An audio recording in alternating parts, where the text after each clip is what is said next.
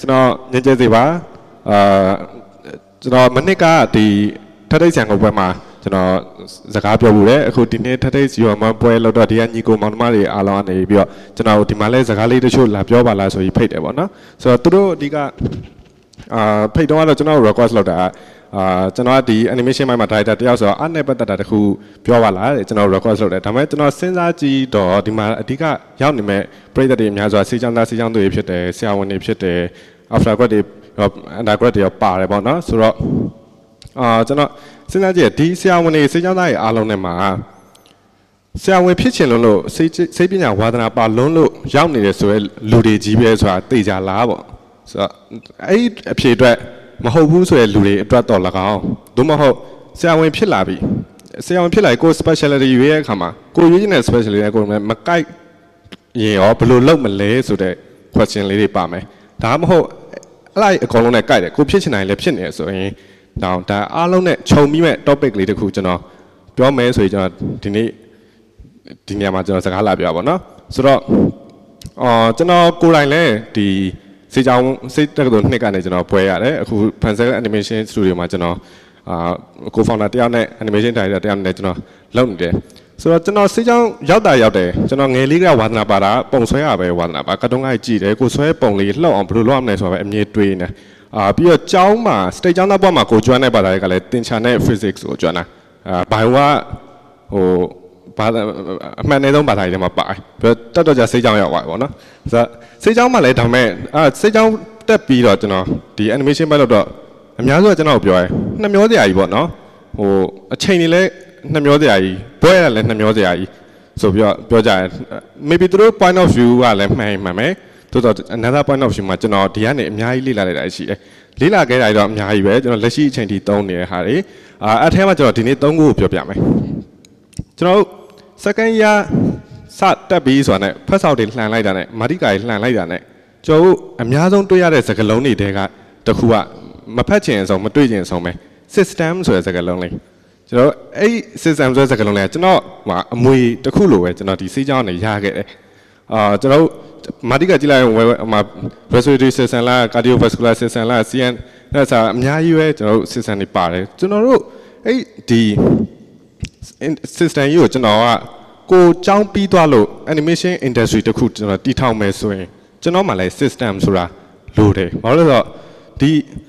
ဒီကျွန်တော်လူကြမ်းမာနေဖို့အတွက်ကဒီ system တွေအားလုံးကတဟဇာတာဖြစ်ပြီးတော့လှုပ်လှုပ်နေမှကျွန်တော်တို့ဒီလူရအသက်ရှင်မယ်ကြမ်းမာမယ်ကျွန်တော်တို့ industry လဲပတ်ဖို့ဆိုလဲတဦးတယောက်တည်းနဲ့မရအောင်လူတွေအားလုံးလဲပတ်နေမှရမှာဥပမာကျွန်တော်တို့ဒီလူကဥပမာဒီ system ကြီးစိတ်မပြေဘူးဆိုပါတော့ဥပမာ ဟိုနှလုံးကခုံတယ်ခုံနေတဲ့အသက်အသက်ရှူဖို့လိုတယ်ဆိုပြီးတော့နှလုံးကခဏထွက်ပြီးတော့ခဏနားပြီးတော့အသက်ရှူတယ်အသက်ရှူနေဟာနှလုံးခုနရက်သွားပြီဆိုပြီးပြန်ပြီးတော့နှလုံးသွားခုံတယ်ခုံပြီးတခါအာခေါင်းကဘာမှမတွေးတော့ဆိုပြန်ပြီးတော့အုံနောက်နေသွားတယ်အဲ့လိုလုပ်နေလို့မရအောင်နှလုံးကလည်းခုံနေချိန်မှာဆက်ခုံဟိုအသက်ကလည်းဆက်ရှူနေအဲ့လိုသူ့အနေနဲ့သူလုပ်နေမှာကျွန်တော်အခုဒီနေရာမှာစကားပြောနေရဆိုလဲကုမ္ပဏီက industry ကဟိုဘက်မှာသူ့လောက်ဆရာရှိရဆက်လုပ်နေရလဲနေပါတော့ဆိုတော့အဲ့ဒီ system ကိုကျွန်တော်အမြဲကျွန်တော်ခေါင်းထဲမှာထားတယ်သူ့လို့သူလို့သူ့ system သူ develop လုပ်အထဲမှာဒီ system ထဲမှာဘာကြီးပါလဲဆိုကျွန်တော် organic tissue တွေ cell တွေပါတယ်ဒီ cell တွေကျွန်တော်တို့လူတဦးတယောက်ချင်းစီနဲ့ကျွန်တော်ကတော့မြင်တယ်ဒီလူတဦးတဦးတယောက်ချင်းစီကသူ့တာဝန်သူမှန်အောင်လုပ်ပြီးတော့အပြန်နဲ့ invader တွေ foreign body တွေဝင်လာရင်ကျွန်တော်တို့ဘယ်လိုကာကွယ်မလဲကိုယ်အထဲထဲမှာဟိုအစင်မပြေဘူးမှားနေရယ်စိတ်တစ်ခုကမှားနေဘယ်လိုဖြတ်မလဲဘယ်လိုပြန်ပြင်မလဲဒါတွေကျွန်တော်တို့မြဲလောက်ရတယ်ဆိုတော့ okay ဒါကကျွန်တော် system ဆိုတာနဲ့လေ့လာအဲ့တော့ဒါတွေကိုဒီလူတွေနဲ့ဒီစိ တ်တဟဆရာဖြစ်အောင်အားလုံးဖြစ်အောင်ကျွန်တော်ဘယ်လိုလုပ်မလဲစဉ်းစားရခါမှာကျွန်တော်တို့နောက်ထပ်အမွေလေးတစ်ခုကဘယ်ရလာလဲဆိုတော့ကျွန်တော်ပြောချင်တဲ့နံပါတ်1အဲကျွန်တော်တို့အုံနောက်အဲကျွန်တော်အုံနောက်ကြီးကိုကြီးလိုက်ရင်အရင်ထူးဆန်းတယ်ဟိုကျွန်တော်တို့ဥမာကျွန်တော်အခုခေါင်းထဲမှာတွေးတယ်စကားပြောတယ်ကျွန်တော်အခုဘယ်ဘက်ကိုလမ်းလျှောက်မယ်ညာဘက်ကိုလျှောက်မယ်ဒါတွေအားလုံးကအရင်ထူးဆန်းတယ်ပေါ့နော်ဘယ်လိုဖွဲ့စည်းထားလဲကျွန်တော်ကြည့်လိုက်တဲ့အခါမှာသူတို့အားလုံးကဒီမှာ neuron လေးရှိရဒါဒီ neuron လေးကြီးရှိနေုံနဲ့ဒီ signal stimulus တွေရှိနေုံနဲ့ကျွန်တော်တို့ဒီလူကဒီလိုလုပ်နေမှာမဟုတ်ဘူးအဲ့ဒီဟာတွေဒီ signal တွေ stimulus တွေတည်နေလို့ဂျားထဲမှာ synapse ဆိုတာလေးလိုတယ်အားလုံးသိပြီးသားပါကျွန်တော်ထက်သိရလို့ကြီးပဲဆိုတော့ဒီ sinus လေးနဲ့ဒီ neuron နဲ့အားလုံးချိတ်ပြီးမှကျွန်တော်ကဒီဘက်ကိုရွှေ့မယ်ဆိုလဲရွှေ့မယ်ဒါမှမဟုတ်ခင်ဗျားတို့ကျွန်တော်ကြည့်နေရဆိုတဲ့အတွေးလေးကကျွန်တော်အုံနောက်ထဲဝင်လာမယ်တရားတွေအကုန်လုံးအချိတ်ဆက်မိတာဆိုတော့ကျွန်တော်လူကိုနှစ်ပိုင်းခွဲလိုက်တယ်ကျွန်တော်တို့မှာ neuron လို့လူမျိုးတွေရှိတယ် synapse လို့လူမျိုးတွေရှိတယ် ဥပမာကျွန်တော် industry မှာဆို animation industry မှာဆိုဘယ်လိုပြောမလဲဆိုတော့ဥပမာပုံနေတနေ့တနေ့ပုံနေအများကြီးဆွဲတယ်လှလှပပဆွဲတယ်အရန်လှအရန်ကောင်းတယ် okay အပုံတွေကအဲ့လိုဆွဲနေလို့ neuron လို့လူနဲ့တူတယ်အဲသူဆွဲနေတဲ့ပုံတွေဆွဲပြီးတော့ဘီရိုထဲထည့်တာဆွဲပြီးဘီရိုထဲထည့်တာဘယ်သူမှလည်းမကြည့်ဘူးဘယ်သူမှလည်းမသိဘူးဘယ်သူမှလည်းပတ်စံလာမပေးဘူးပြီးရင်သူကသူငက်ပြီးရှော့ရမယ်ဆိုရင်အဆင်မပြေဘူးအဲ့ချိန်မှာကြည့်မဲ့လူနဲ့သူ့ပုံနဲ့ချားတယ်မှာချိတ်ပေးမဲ့ signal လို့လူမျိုးတွေတော့ပြန်လို့တယ် အဲ့လိုမျိုးပဲကျွန်တော်တို့ဘယ်မှာပဲဖြစ်ဒီ signal လို့လို့ရကျွန်တော်ကျမ်းမာရေးလောကမှာကြည်လိုက်ဥမာစာကျင်တယောက်ကခွဲစိတ်တာအရန်အရန်တော်တယ်ဘာဘာလာလာမျက်စိမိတ်ပြီးခွဲပြလိုက်ရတယ်ဆိုတာမျိုးပေါ့တစ်ဖက်မှာအာဒီတန်မိုတွေပါလောက်တဲ့ဒီ ဒီတီထွင်တဲ့ပစ္စည်းကလေးတီထွင်တာအရန်တော်ရလို့တည်းချေဒါပေမဲ့ဒီနှစ်ယောက်ကြားထဲမှာ signal လေးအဲ sorry synapse လေးတစ်ခုမရှိလို့မချိတ်မိဘူးဆိုကျွန်တော်တို့ခွဲစိတ်ကိရိယာကြီးဖြစ်လာမှာမဟုတ်ဒီခွဲစိတ်ကိရိယာလေးတစ်ခုကတန်လေးကိုဘယ်လိုလေးကောက်လိုက်မယ်ဘယ်လောက်ဒီဂရီဆောင်းမယ်ဘယ်လောက်ထိတ်ကရှူးမယ်ဘယ်လောက်ချွန်မယ်ဘယ်ကောင်ကထိတ်ကကျန်းမယ်ဘယ်ဟာဘယ်လောက်အပြားကျွယ်ဘယ်ကောင်မာဆယ်ကိုကုတ်မယ်ဟာလဲဘယ်ဟာ soft tissue ကိုကုတ်မယ်ဟာလဲအဲ့ဒီဟာတွေကြားမှာဒီတန်မိုလောင်းမဲ့ထွင်မဲ့ဒီဘက်ကကျွမ်းကျင်တဲ့ neuron နဲ့ဒီဘက်က neuron ကြားမှာ synapse လေးတို့နဲ့တွေ့ထားလို့ကျွန်တော်တို့ဒီလိုအောင်မြင်တဲ့ခွဲစိတ်မှုတွေကျွန်တော်တို့ လုပ်နိုင်တာဆိုတော့ဒါကျွန်တော်ရဲ့နောက်ထပ်ရတဲ့အမွေတွေကတစ်ခု okay ဆိုတော့ကျွန်တော်တို့ခုနလို synapse လိုလူမျိုးတွေရော neuron လိုလူမျိုးတွေကျွန်တော်စုနိုင်ပြီလုပ်နေပြီဒါပေမဲ့ကျွန်တော်တလွဲကြီးလုပ်နေကြရဆိုရင်ဘယ်လိုလုပ်မလဲအမှကျွန်တော်တတိယတစ်ချက်က positive feedback နဲ့ negative feedback ဆိုတာလေကျွန်တော်အားလေးရလဲအားလုံးသိပြီးသားတွေကြီးပဲဒါလွယ်လွယ်လေးကြီးပဲစက္ကန့်ကြီးရတယ်ဆိုင်အာအဲ့ကျွန်တော်ကုမ္ပဏီတစ်ခုအနေနဲ့ပဲလုံးလုံးလူတူတယောက်နေပဲလို့ကျွန်တော်ကောင်းတာတစ်ခုလုပ်ရင် စတိုက်တိုင်းလုပ်မယ်ဟိုမှာကုမ္ပဏီကသူတစ်ခုလုပ်လို့အောင်မြင်တယ်ဆိုရင်ဆက်ပြီးတော့လုပ်ဖြစ်အောင်ကျွန်တော်တို့စတိုက်စတိုက်လုပ်သွားတယ်ဆိုတာဒါက positive feedback okay လုံးလို့မအောင်မြင်တခုလွဲချော်နေကျွန်တော်တို့ဘယ်လိုပြန်ကာကွယ်မလဲဒါက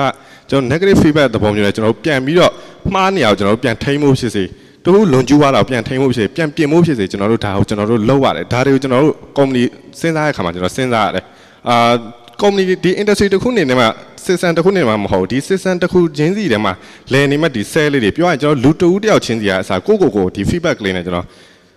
စဉ်းစားတယ်ဒီ biological မှမဟုတ်ဘူးကျွန်တော်ဒီစိတ်ပိုင်းထားမှာပေါ့ကျွန်တော်ဒီဥမာကိုက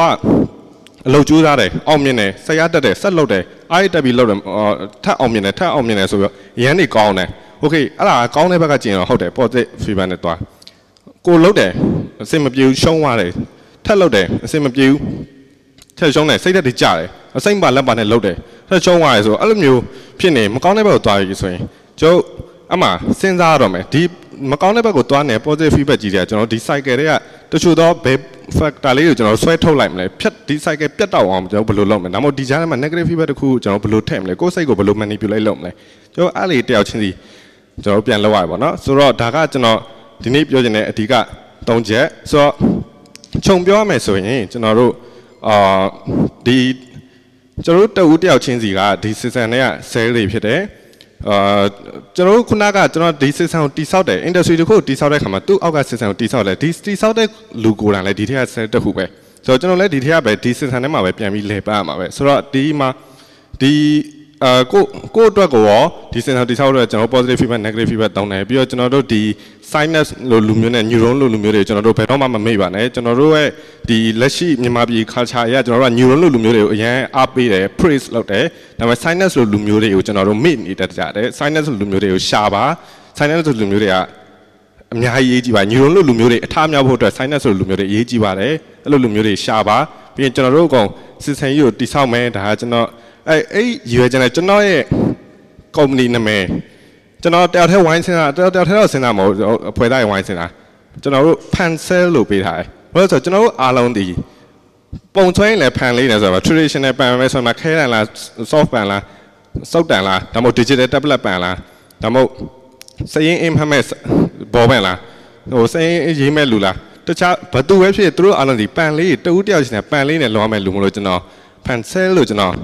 တော့အတိတ်ပဲဖွင့်တယ်ကို company နာမည်ကိုဆိုတော့ဒီအတိတ်ပဲလေးနဲ့ကျွန်တော် ဒီ company နာမည်လေးကိုကျွန်တော်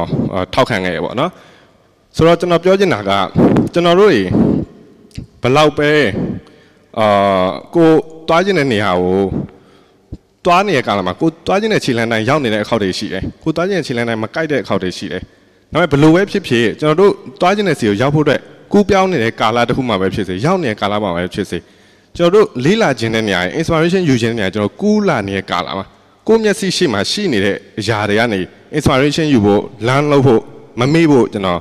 request လုပ်ချင်တယ်ဘာလို့ဆိုတော့အာတော်တော် idea လေး share ရပါတော့ဆိုတော့ကိုမျက်စိရှိမှာအမြင် inspiration လုပ်ဆရာ landing လုပ်ဆရာရှိတယ်ကျွန်တော်စေးချောင်းရောက်နေလို့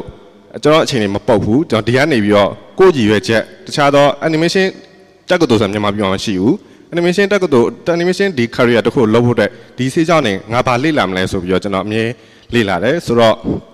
အဲ့လိုမျိုးအမြင်တမ်း လေးလာပါ inspiration ကိုရှိမှအမြဲရှိနေတယ်ဆိုတော့ကိုကိုယ်တိုင်းလမ်းကြောင်းပေါ်ရောက်နေတဲ့လူပဲဖြစ်စေလမ်းကြောင်းတစ်ခုကူးနေတဲ့ကာလမှာပဲဖြစ်စေကိုရှိရဟောဘယ်တော့မှမမေ့ပါနဲ့လို့ပြောရင်ညီကုန်းချုပ်ပါတယ်ကျေးဇူးတင်ပါတယ်